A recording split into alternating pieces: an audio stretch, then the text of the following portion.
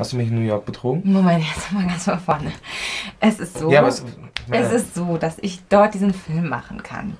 Und dass ich einfach mich in New York wahnsinnig wohlgefühlt habe. Und ich weiß nicht, ich, ich brauche das irgendwie jetzt nochmal.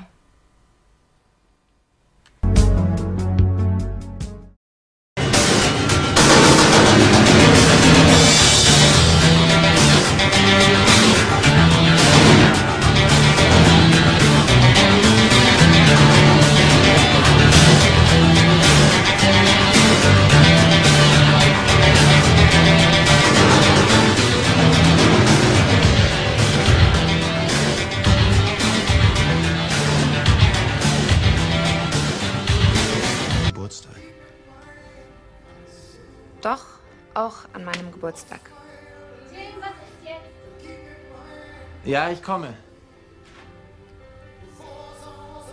Jetzt komm doch mit.